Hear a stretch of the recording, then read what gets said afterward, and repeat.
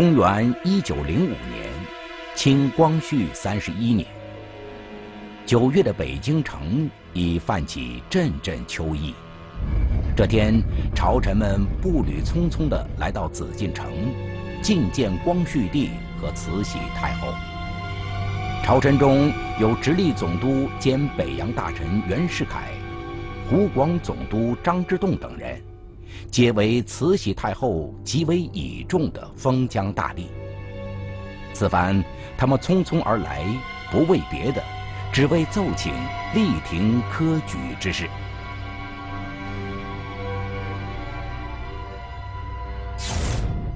晚清的教育改革始于一九零一年，清廷曾设想用十年时间完成从废止科举。到学堂办学的逐步转换。如今两年时间已然过去，改革却起色不大。袁世凯、张之洞等人言辞恳切地奏请慈禧，朝廷如果还想继续之前设定的从科举到学堂逐步转变之法，那么二十年后学堂办学方可见效。然而强邻环伺。大敌当前，王朝已经没有二十年的时间可等。为补救时局艰危，朝廷必须痛下决心，马上停废科举。面对群臣的呼声，慈禧的脸色极为凝重。思虑再三之后，他决定采纳大臣们的建议。由此，一个事关万千学子前途命运的重大决策，就在这一刻产生了。次日，慈禧以光绪的名义下诏，正式废止科举。至此，延续了一千三百多年的科举制度，终于走向了穷途末路。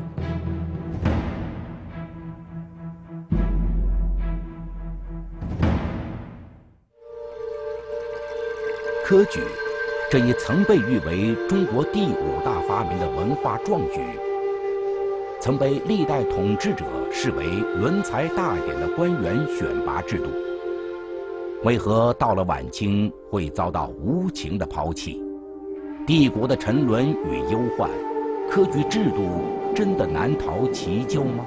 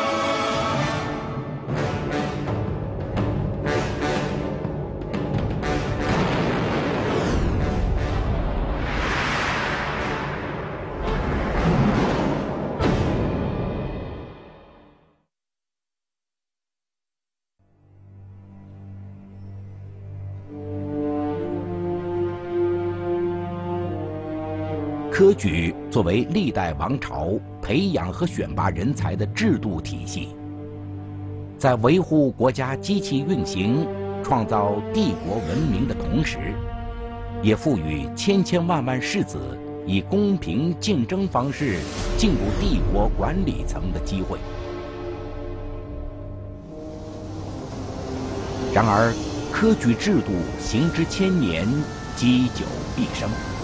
随着历史的发展，他最终没能逃过被时代抛弃的命运。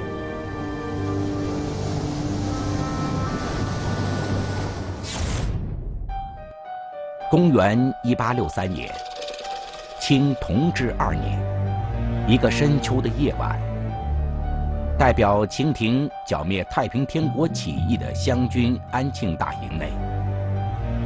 时任两江总督兼湘军统帅的曾国藩，正在帐内处理着军务。这时，一名侍从禀报，有客人求见，并恭恭敬敬地递上一张名次。曾国藩看了看名次，便吩咐传客人来帐内面晤。来客既非官场中人，也非曾国藩的至亲故交，而是被誉为中国留学西洋第一人的荣闳。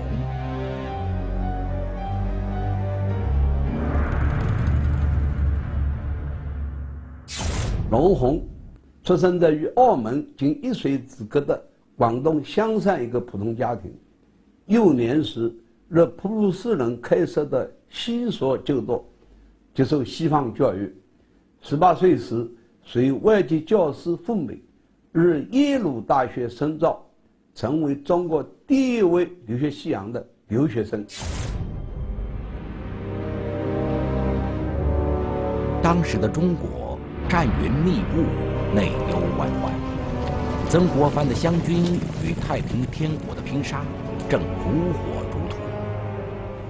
荣闳学成归国后，心中已有一个大设想，那就是说服朝廷有计划、有步骤地派遣留学生出洋，学习西人长技，以图中国自强。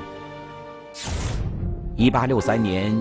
经有人介绍，三十五岁的荣闳终于有机会得以面见曾国藩。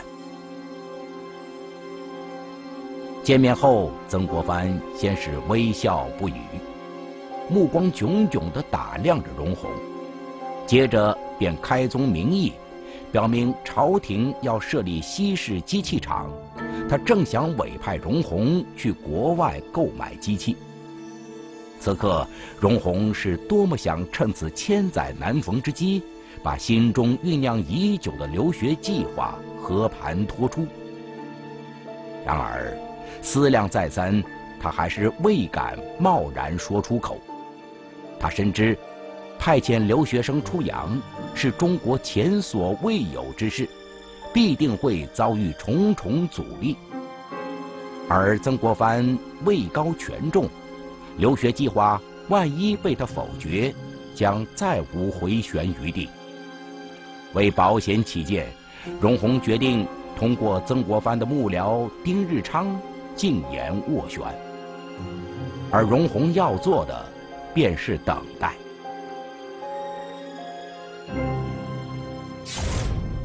岂料这一等便是七年。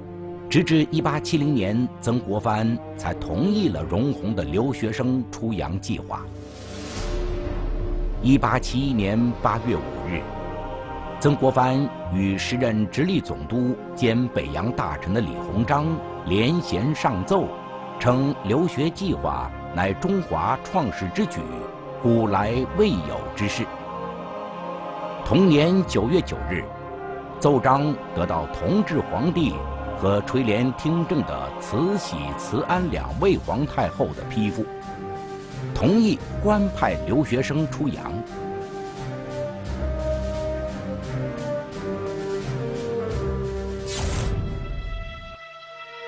中国科举制度盛行千年，帝国历来都是通过科举正途培养选拔人才，而如今这个有着悠久的文明。向来是一国为蛮夷之邦的国家，又怎肯放下身段，派遣留学生出洋学习呢？十八世纪六十年代至十九世纪四十年代，一场以蒸汽机的诞生作为标志的划时代的工业革命在英国兴起。工业革命彻底改变了世界历史的进程。由于产业革命和科技进步。带来了生产力的大解放，使得资本主义强势崛起。英国迫切需要抢占海外市场，大量倾销商品，而中国正是理想中的巨大商品市场。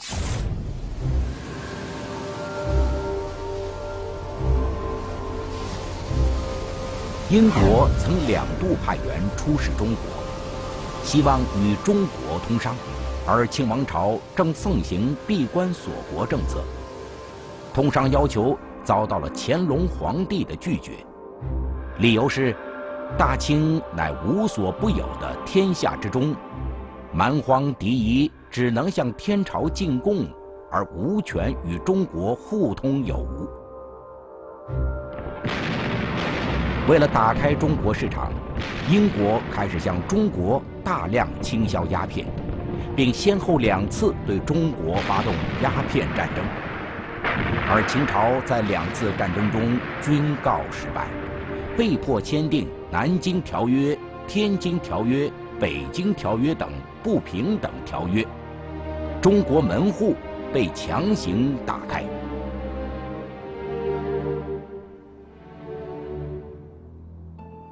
这是自诩为天朝上国的清王朝所遭遇的第一次重大挫败。一些有识之士开始反思：泱泱大清之所以败给蛮夷小国，乃因为他们拥有坚船利炮。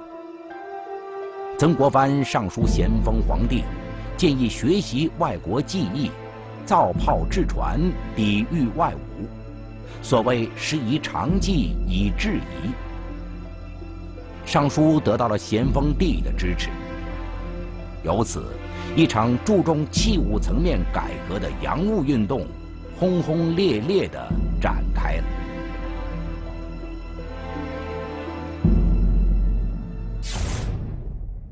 然而，外国技艺不会自己送上门来，必须走出国门去学习。以曾国藩、李鸿章为代表的洋务派，强烈地意识到，中国应当改变传统为经史之学的教育方式，在科举正途之外另辟蹊径，派遣留学生出洋，学习西人长技，以图中国自强。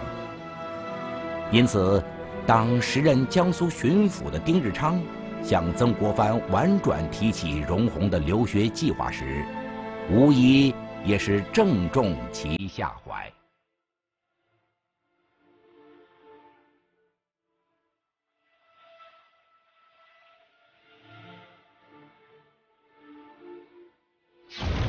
很快，洋务派就把目标锁定在既受过一定的国学教育。又善于接受外来事物的幼童身上。一八七二年八月十一日，就在举国一片崇洋媚外的叫骂声中，首批三十名平均年龄为十二岁的幼童，经由上海出发，远赴美国旧金山，踏上了计划长达十五年的异国求学之路。杨派虽然意识到中国需要向西方学习，但毕竟局限于器物层面，在中期西用的框架内，并未动摇传统教育的根据。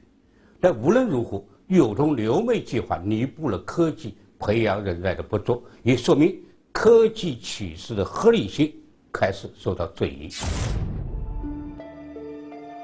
一八九五年三月，北京南海会馆。又迎来一批进京会试的广东南海籍学子。其中一名学子将自己居住的房间取名为“汉漫坊”，取“小事如舟”之意。这位书生不是别人，正是维新派的领袖人物康有为。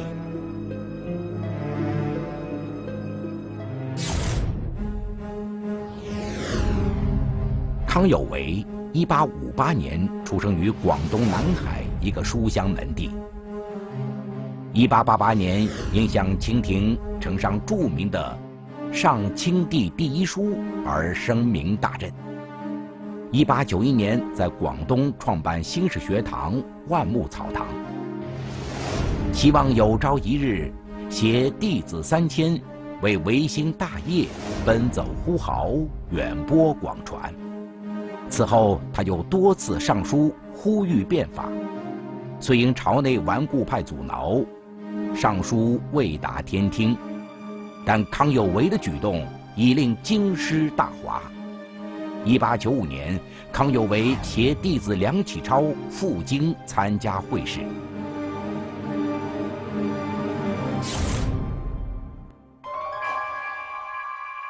令康有为始料不及的是，这一年的考官，正是读过他的上清帝书，并斥之为狂生的大学士徐同。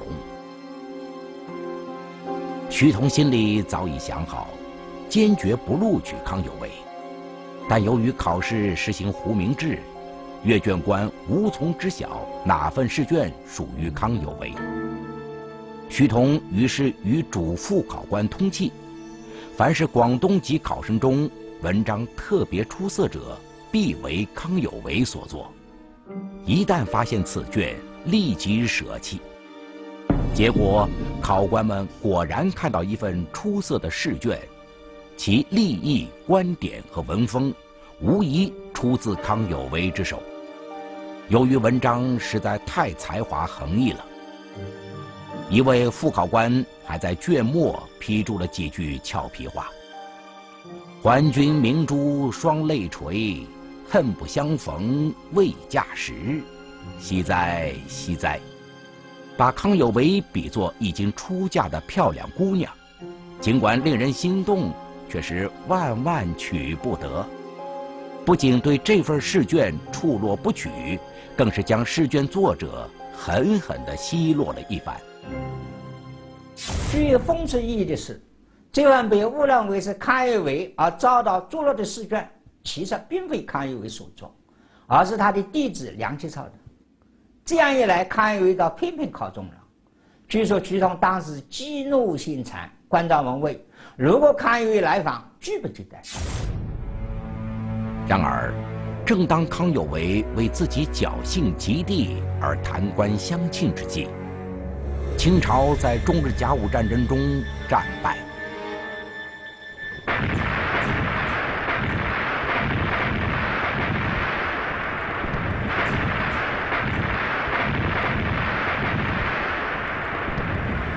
日本。于一八九四年七月，也就是康有为赴京会试的前一年，对紧密已久的中国挑起侵略战争。当时洋务运动已推进了三十多年，不仅向汉阳铁厂、江南制造局等一大批制造机构博兴，中国第一支近代化海军舰队北洋水师亦声势赫赫。抵御外侮，以夷制夷，舍我其谁？然而，谁也不曾料到，开战仅仅十个月，清朝军队即一败涂地，经营多年的北洋水师亦全军覆没。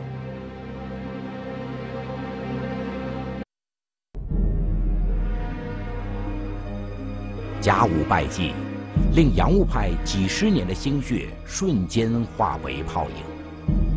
李鸿章被迫签下中国近代史上又一个屈辱条约《马关条约》，不仅割让台湾，还要向日本支付两亿两白银的战争赔款。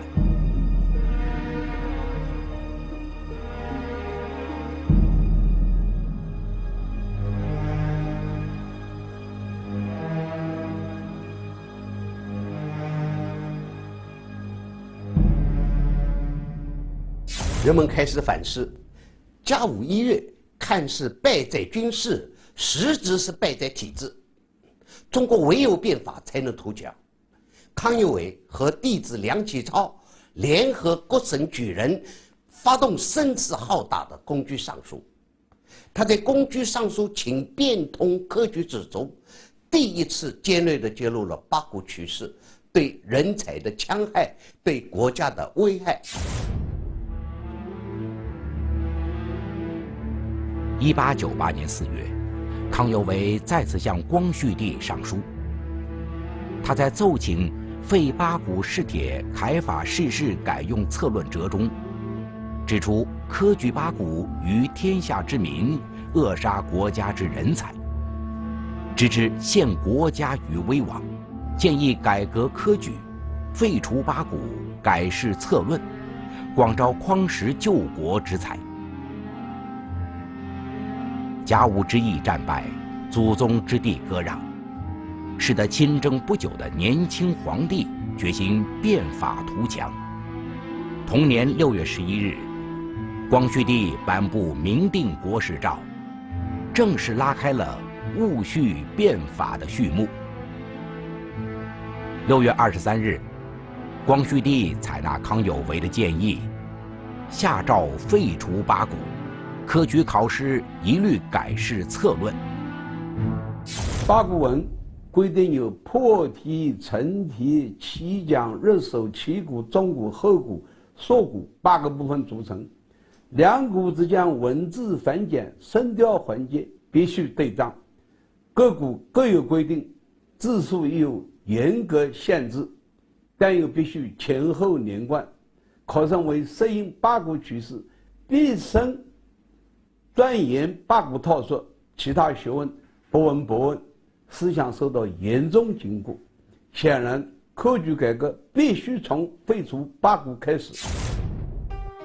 一八九八年九月，这一天，早起梳妆的慈禧显得有些心绪不宁。自从还政于光绪之后，慈禧明显的感觉到皇帝羽翼渐丰，开始不听话了。就在前几日，光绪帝竟然无视慈禧早在变法之初就明令，二品以上官员由他来任免的谕旨，擅自罢黜了多名朝廷要员。一想到这，慈禧心中便油然升起一股。对自己大权旁落的担忧，而偏偏就在这个时候，那些被光绪帝罢黜的成功又跑到他跟前天塌地陷的哭诉。慈禧被激怒了，他决意要干涉和阻挠变法。九月二十一日，正当变法维新不足百日之际。慈禧发动了震惊中外的戊戌政变，维新派人头落地，光绪帝被囚瀛台，戊戌变法终告失败。十月九日，慈禧发布懿旨，又重新恢复了八股取士。八股废而有复，说明晚清教育改革的艰难。更说明改革派和怀科派之间博弈的激烈。但不管怎么样，科技改革也是大势所趋。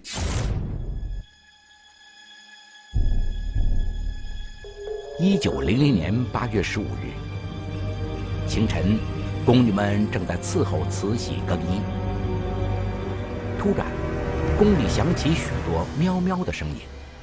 慈禧满心疑惑：宫里哪来这么多猫呢？正在此时，耳边又响起一声，只见一颗子弹从窗格子飞进来，飞到她的屋里。慈禧吓了一跳，还未及发问，光绪帝的堂兄在兰已经跪在了帘子外，颤声奏道：“洋兵已经进了城，老佛爷还不快走！”慈禧大惊失色，连忙差人去唤光绪帝。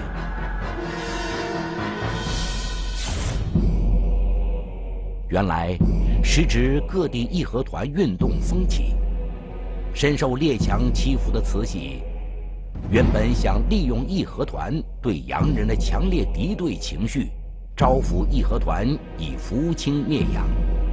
只是他万万没有料到，被激怒的英法美日俄等列强，迅速组成八国联军，攻入北京，直扑紫禁城而来。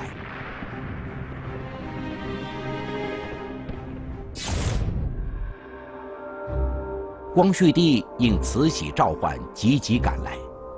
听老佛爷这么一说，也慌了神，拔腿就要往外跑。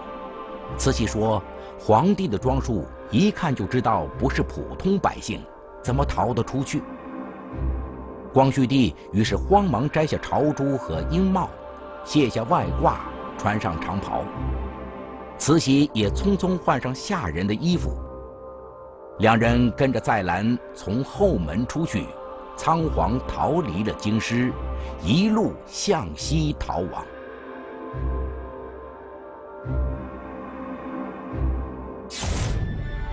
就在这场浩劫中，天下世子魂牵梦绕的登京之所，明清两朝举行顺天乡试和全国性会试的北京贡院，被八国联军。彻底捣毁。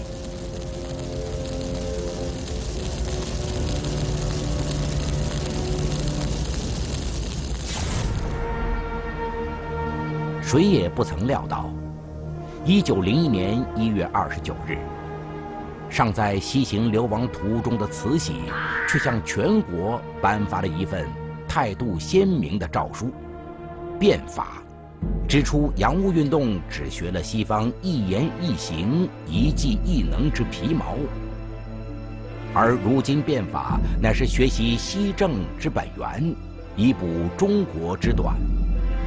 不久，由慈禧主持的清末新政渐次出台，改革内容几乎涵盖军事、法政、官制、实业、教育等各个领域。清末新政可说是内外交困下的不得已之举。八国联军攻入北京后，曾指慈禧是战争祸首，是他招呼义和团向西方宣战。只有改革旧制，推行新政，不再排外，方可免于追究。正因为如此，慈禧才惊魂甫定，发出变法遗志。当然，他也是想通过变法让王朝摆脱困境。教育改革是清末新政的一项重要内容。同年八月二十九日，清廷发布上谕。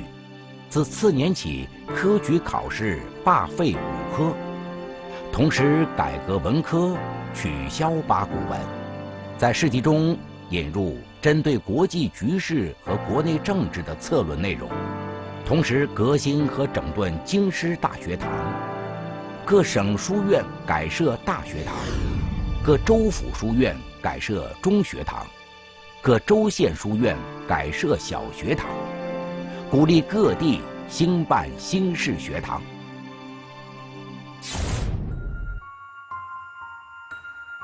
一九零二年初秋的一天，整顿革新后的京师大学堂，开学已经整整一周，然而来学堂上课的学生却寥寥无几。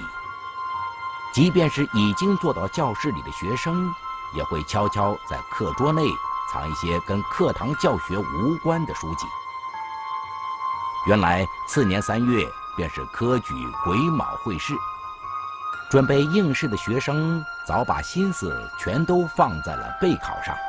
待到秋季开学之时，学堂自然是门可罗雀，教学计划也不得不随之更改。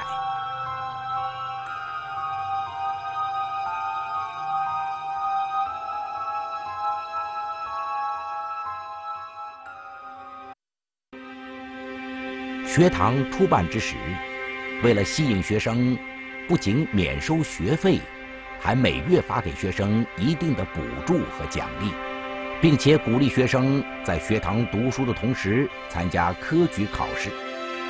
这样，学生既不误功名前程，又无衣食之忧。因此，很多学生身在课堂，心系科举。至于学堂功课，能敷衍则敷衍。此外，由于时局艰难，学堂办学的经费也常常捉襟见肘。科举作为国家人才大典，历代王朝均是专款专款专用，而学堂是新生事物，政府并无这项预算。清廷在历次战争中屡败，不得不以各地赔款来求和。有记是马关条约、辛丑条约后，国库亏空，再待高筑，无力在学堂办学上再投入资金。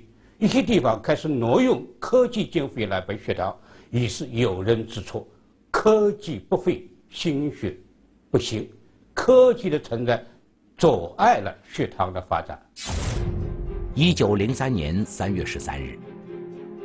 直隶总督兼北洋大臣袁世凯，与湖广总督张之洞、两江总督周馥、湖南巡抚端方连衔上奏请递减科举者，几乎科举一日不废，即学校一日不能大兴。学校不能大兴，士子将永无实在之学问，国家永远无救时之人才，中国永远不能进于富强，即永远不能争衡于各国。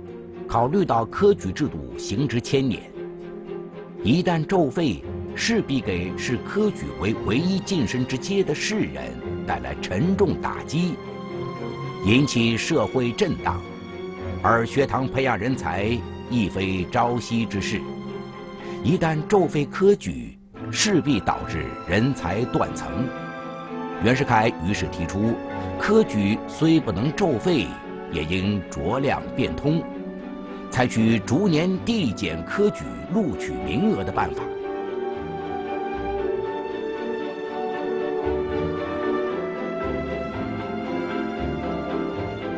不久。张之洞又上奏请递减科举注重学堂者，提出把科举考试递减下来的取中名额换作学堂录取的名额，并设想用十年时间来完成从科举到学堂的逐步转换。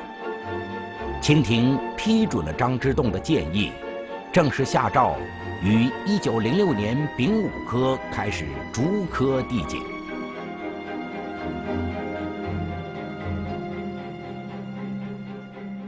科举沿袭旧经，只注重文章，而当时的中国急需旷世救国之才，不仅需要文科，更需要理科、工科、经济、法律等各领域的人才。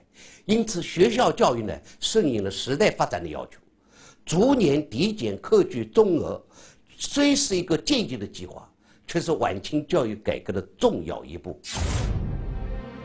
正当晚清帝国的教育改革在有条不紊地慢慢推进之际，日本和沙俄因分赃不均而大打出手的日俄战争，在中国的领土上爆发了。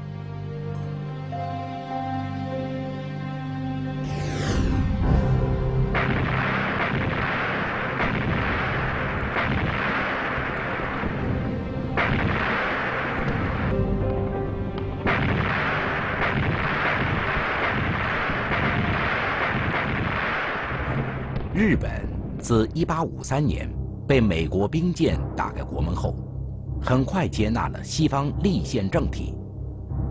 经明治维新后迅速崛起，以其强盛的国力脱亚入欧，成为列强。1904年2月，日本和沙俄为争夺中国东北和朝鲜半岛，爆发日俄战争。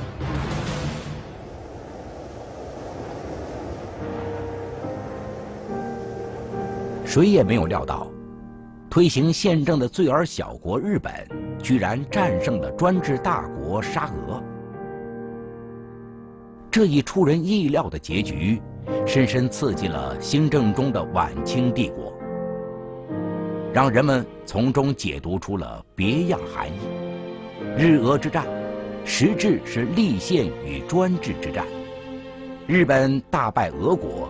实质是立宪对专制的胜利。一时间，立宪救国成为社会共识。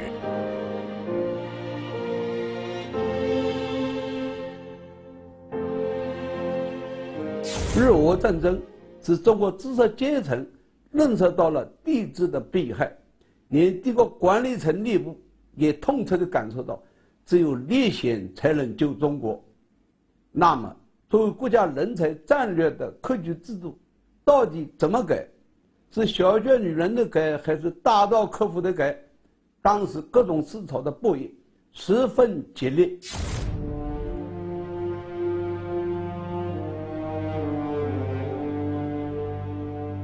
一九零四年的甲辰科会试，就在这样一个复杂混沌的局势下如期而至。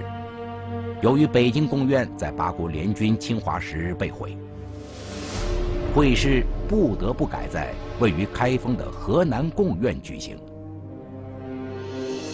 经过之前的一系列改革，贾樟柯会试自然已不再使用八股文体，而是采用中外政治史论和具有现实性的考试内容。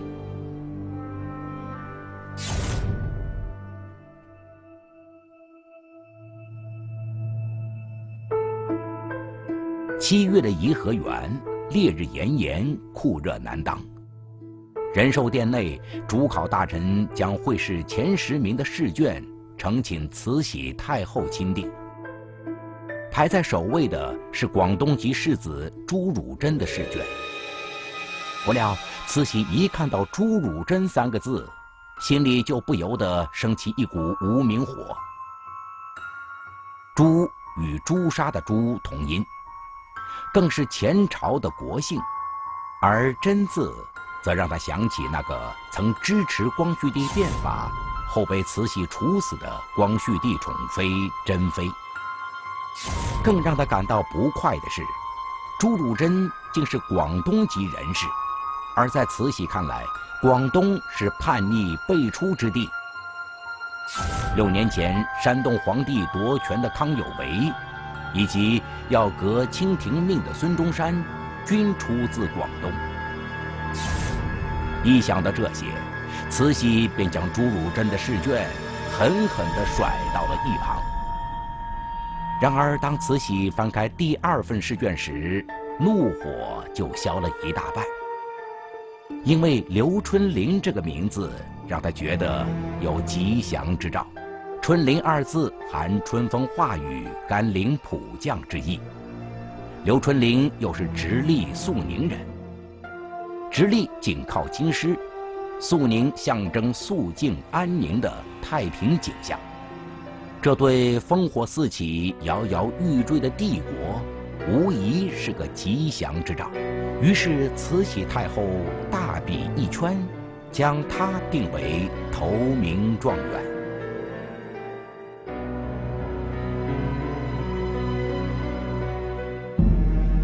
这是坊间普遍流传的一种说法。实际上，当时确定前十本电视卷名次的是光绪，而不是慈禧。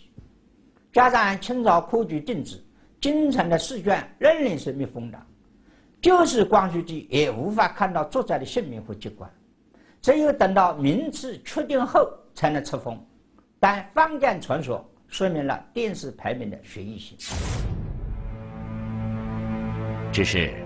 慈禧并未料到，1904年的甲辰科会试，竟成为帝国的最后一次科举考试，成为中国千年科举的一次历史性谢幕。1905年9月1日，直隶总督兼北洋大臣袁世凯，两湖总督张之洞。两江总督周馥、两广总督岑春轩和湖南巡抚端方等封疆大员，联衔上奏请力挺科举以广学校者，李陈当此强邻环伺，大敌当前的艰危时局，帝国已没有时间可等待，必须痛下决心骤废科举，以推广学堂，培养匡时救国之才。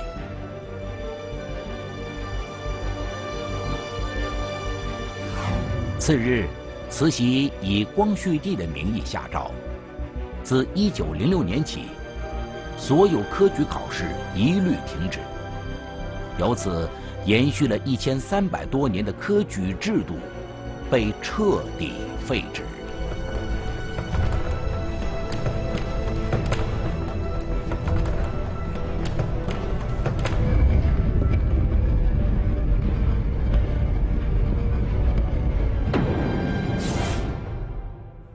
而末代状元刘春霖的名字，被书写在有关科举的各类史书中，成为令人回味的一个标点符号。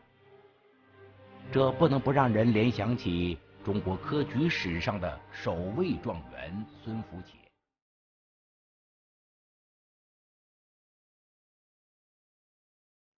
孙福杰和刘春霖。分别站立于科举历史的起点和终点，中间隔着一千三百年的时光之河，遥相呼应。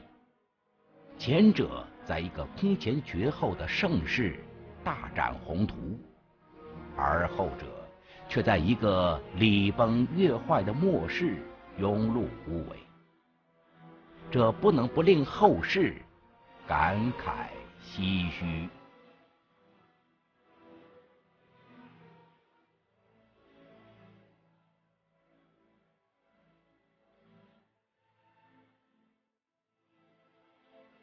科举的兴废，说明一种好的制度在不同的历史阶段会发生变异。科举制度作为一种工具，关键在于使用者如何使用它，应根据不同时代的要求调整和改造它的不合理部分。晚清科举制度需要改革的主要是考试内容，但由于渐进式的改革难以在短期内取得显著成效，因此。王朝迁怒于工具，就像泼脏水的时候，把盆里的婴儿也一并倒掉。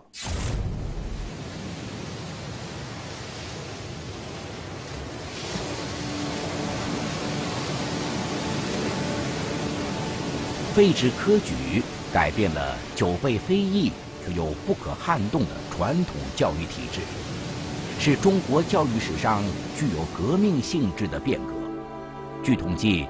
废科举前，新式学堂只有八千二百七十七所，而废科举后的第二年就达到两万三千八百六十二所，一九零九年更是达到了五万九千一百一十七所。可以说，科举退出历史舞台，为学堂办学让出了空间。从此，近代教育制度逐步建立。近代意义的新型知识分子队伍随之形成。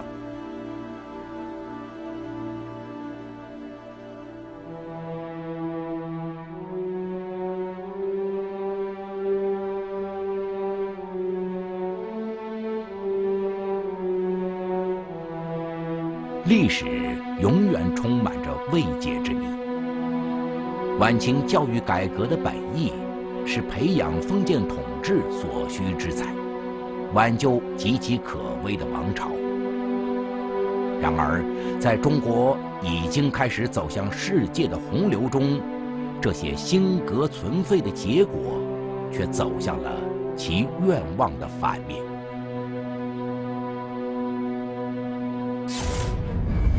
一九一一年十月十日，辛亥革命爆发。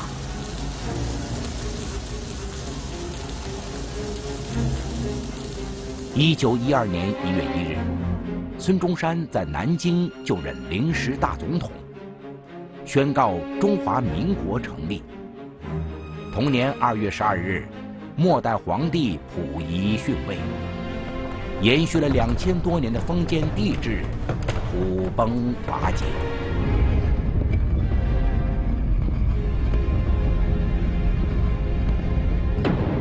新式学堂培养的是具有西方思想意识的新兴知识分子，他们所推崇的西方宪政和清王朝极力维护的封建旧制是格格不入的。所以废科举、新学堂非但没有成为王朝自救的良药，反而是发酵反清力量的温床。王朝恰恰是培育了自己的掘墓人。清朝在辛亥革命中迅速垮台，新兴知识分子的作用。不可小觑。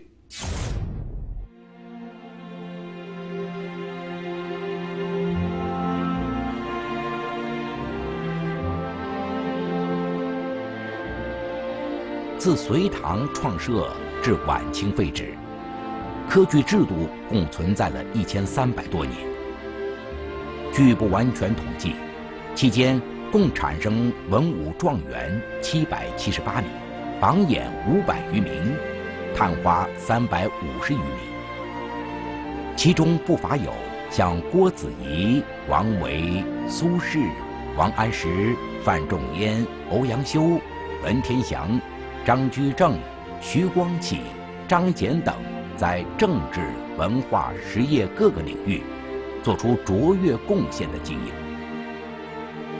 可以说，出现在中国历史长河中的大部分政治家、文学家和著名学者，都是由科举制度选拔的。正是他们，使得中国历史的天空星汉璀璨。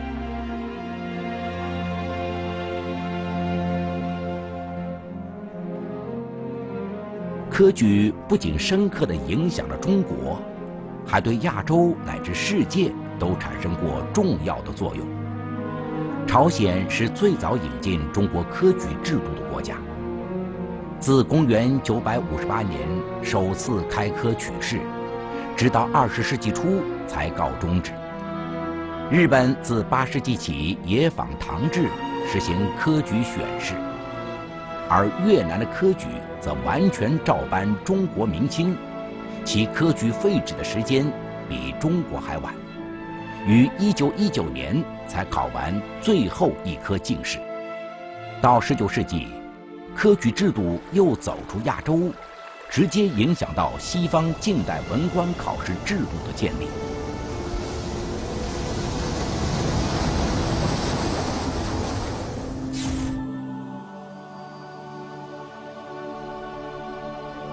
作为人类文明中最具活力、也最为长寿的一种文化现象，科举制度彰显了其作为中华文化代表的无穷魅力。它不仅是中国文化的重要组成部分，也是世界文明的一部分。